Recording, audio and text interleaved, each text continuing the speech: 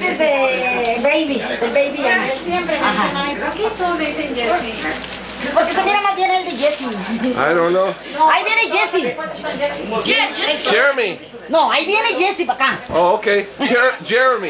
Ese es Jeremy. I know. I'm talking to Jeremy. You got you finally got your present from the Philippines.